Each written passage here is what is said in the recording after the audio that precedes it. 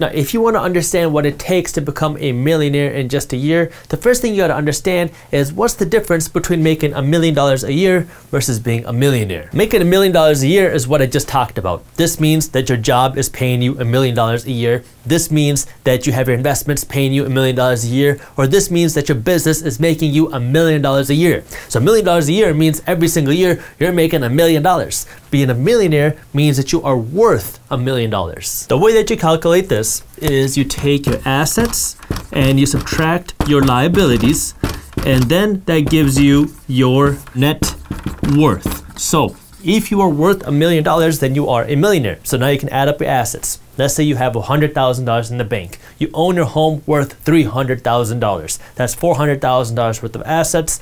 And let's assume that you also have another $100,000 in the stock market. Now you have assets worth $500,000 and let's say you have $50,000 worth of debt. So $500,000 minus $50,000 is $450,000, which is your net worth.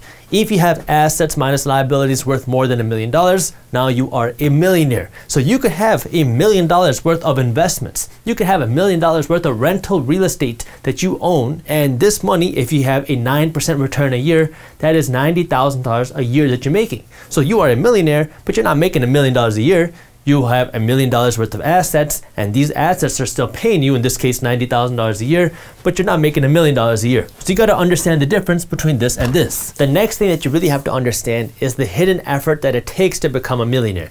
And the best way to think about that is just to think of an ice cube. So if you take an ice cube out of the freezer and you put it into somewhere where it is still cold it is 10 degrees Fahrenheit and now if you take the temperature and you start to raise it up one degree at a time, you go from 10 degrees to 11 degrees to 12 degrees to 13 degrees to 14 degrees, the ice cube is not going to melt. And you can keep raising the temperature 15, 16, 17, 18, 19, 20, 21, 22, 23, 24, 25.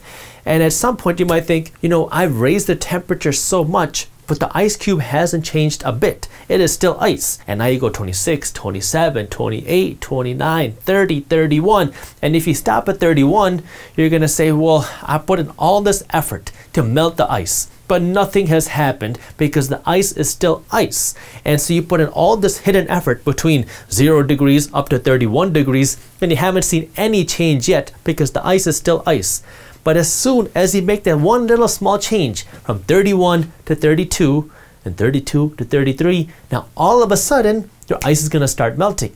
And so all you had to go was just that one kind of little degree more and now you hit that breaking point. You hit the melting point and now this ice is going to turn to water. And so the way to becoming a millionaire works the exact same way. You have all this hidden effort that you're going to have to put in, all this hidden work that you're going to have to put in that you might not see kind of where the results are, but as soon as you hit that breaking point, as soon as you hit the melting point, that's when the results come in. Like one person could be worth $999,000. They could have $999,000 worth of investments and still they're not a millionaire. And another person could be worth $100. For this person to go and become a millionaire, all this person has to do is get another $1,000 and now they're a millionaire. But for this person to become a millionaire, now they're to need essentially a whole million dollars. The thing that everybody sees and everybody gets excited about is how you go from 999,000 to a million dollars because now you're a millionaire. But the hard part and the thing that requires all the work is how do you go from here to here? The final steps are to happen faster and easier. And as you get closer to here, yeah, you'll be able to see much bigger returns in a year and go to that million dollar level. But when you're starting off here, going from here to here can take you a long time because you have to go through the learning curve. You have to learn how to attract more money. You have to learn how to invest your money. You have to learn how to grow your money. And so here to here is where all the effort goes in. And this is that process where everyone's trying to figure out how to become a millionaire overnight.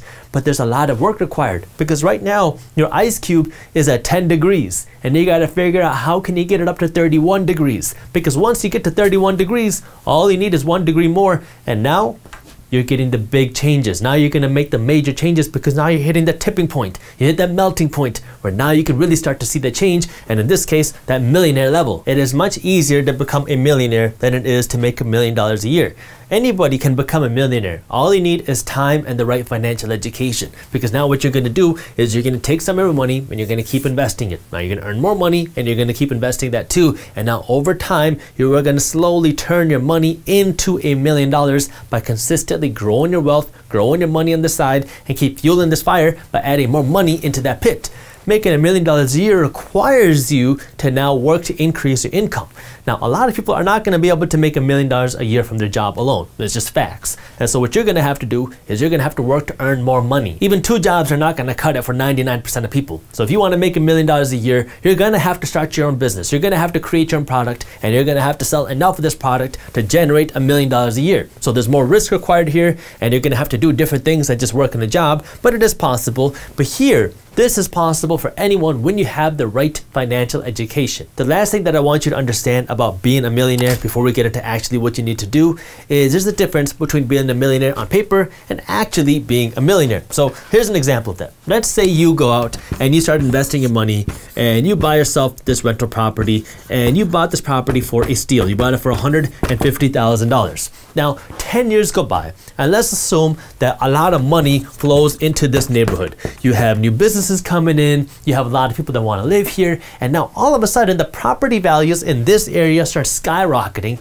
and this property that you own is now worth on paper a million dollars. And so now you own a million dollar property and you bought this property for $150,000 and this other money, this 150,000 to a million is almost like imaginary money right now because that is what your property is worth but you don't actually know that for sure until you sell your property because the price of any asset is determined by what it will actually sell for. Because you might think it's worth a million dollars, but if no one's willing to pay you a million dollars, then is it really worth a million dollars? No. But in this case, let's assume that your property is actually worth a million dollars and people are willing to pay you a million dollars. Now, you have this kind of like nest egg that's sitting there, this property that's worth a million dollars, but this money isn't in your bank account. I mean, you can't go out and spend this cash unless you pull out a refinance on this property, and now you have this cash in the bank that you can go out use to spend, but now you have to pay this money back plus interest. It's the exact same thing in the stock market. If you go out and you find a really hot stock that you want to invest in, let's just call it company X. This can be whatever company you want,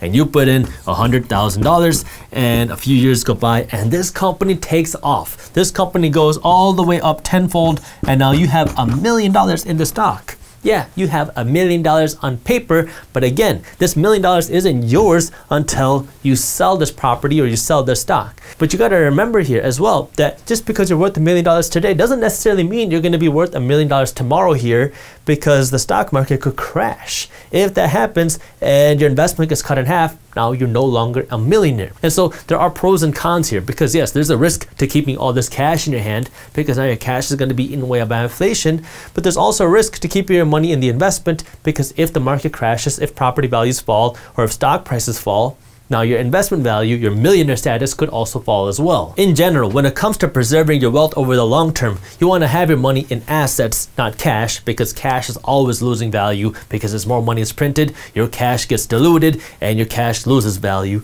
But assets over the long term go up. Yes, there can be crashes, but over the long term, if you have a good asset, it will hopefully continue to go up. This is where having a good strategy with your money and your investments is so important because you want to make sure that you're protected against anything. So this could mean investing your money for passive income or cash flow. That's these properties, even if property values fall, you still have enough cash flow to support you and your lifestyle. And that could also mean by diversifying your money into different assets or asset classes. That might mean having some money in stocks. That might mean investing in different stock sectors. That might mean investing in different stock markets across the world. That might mean investing in different assets like stocks and real estate, maybe cryptocurrency. Now, let's go back to the original question of how can you actually become a millionaire? By the way, if you are interested in learning more about how to actually manage your money and invest your money, that's why we wrote a free guide on money management and investing. And you can read this guide for free when you sign up for our daily newsletter. So if you want to read our free guide and start getting a newsletter, I got the link to how you can do that in the description below. But one of the easiest things that you can do is create a financial system for your money.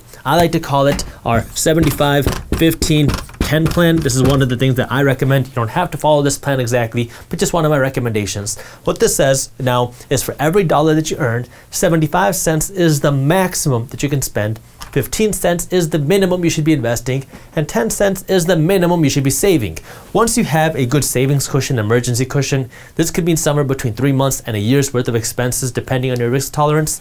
You want to take this saving money and put it here towards your investments because your investments are what's going to make you wealthy. And so the faster you can invest your money, the more aggressively that you can invest, the faster that you're going to hit this million dollar number or whatever number you're going for. That way you can build your wealth and stop working so much because now you have your investments paying for your lifestyle. Now it's just a matter of math. if you can invest $625 a month and you can get a reasonable 8% return on your money, which is about the average stock market and real estate return. Sometimes you'll see more, sometimes you'll see less, but that's kind of a good average. If you can maintain an average 8% return in 31 years, you will be a millionaire. If you can invest $1,000 a month, now it won't take you 31 years, assuming you can get the same 8% return. Now it's gonna take you right around 25 years to become a millionaire. If you can invest $2,000 a month, now if you get that same 8% return, it's gonna take you right around 18 years to become a millionaire.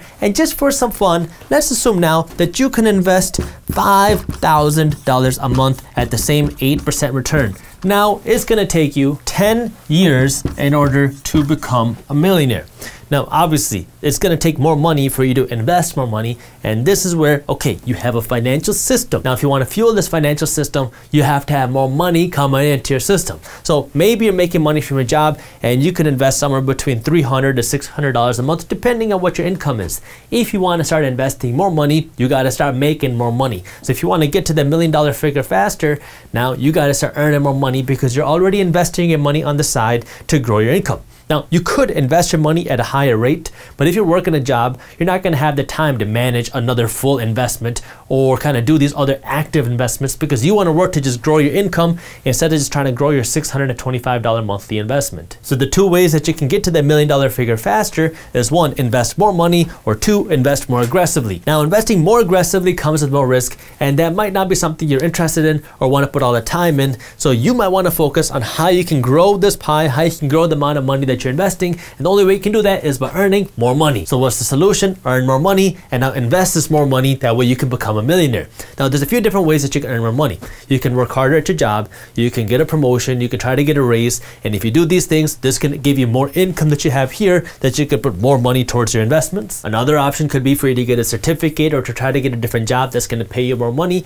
Or if you want to make money outside of a job, now you can either get another job or you can try to start your own side hustle or side business. There are hundreds of ways for you to go out and earn more money on the side. I mean, our team even put together a list of 113 ways that you can earn more money outside of your job. If you want to read that article, you can do it on our website, theminoritymindset.com, and I'll also link it for you in the description below. But you really need to just kind of figure out where your passions are, something that you like, because if it's something that you like and something that you're good at, then you can make more money because you're actually skilled at what you're doing. The internet makes this more accessible than ever. Now, just because it's accessible doesn't mean it's easy, but you can create a brand around almost anything. You can create a brand around fitness, around finance. You can create a brand around cooking, around music. So if there's something that you like, you can build a brand around it. And if you can start to build a community or an audience, there are unlimited ways to monetize. You can do advertising, you can do sponsorships, you can sell your own products, you can be an affiliate for other products. All these things can start generating you more money. Now, this isn't something that's going to happen overnight. Again, it's like kind of melting the ice cube. It's going to take a lot of time and a lot of work to kind of get to that point, the tipping point where now you can start making good money. But if you can put in that work, then it's a way for you to make money. And what you're doing doesn't have to be a digital company either. I mean, if you like making cakes, you can bake cakes and sell them to your friends, sell them to businesses and corporations when they have their events. And so you gotta just kind of figure out what you like and now turn this skill, turn this passion into something that can make you money. If you wanna be a millionaire, you have to have a million dollars worth of assets. For you to have a million dollars worth of assets, you have to have some money. That way you can go out and buy assets. One way to get this money is from your job. But if this is not enough, or it's not going to take you there fast enough, you got to start making more money. How do you make more money? Well, now you can get more money from your job, you can work another job, or you can start a side business or a side hustle. So this side hustle is a way for you to earn more money. That way you have more money going into your funnel, more money going into investments. These are things that are going to make you wealth while you're working to earn more money. So you earn more money and your money works to build you wealth.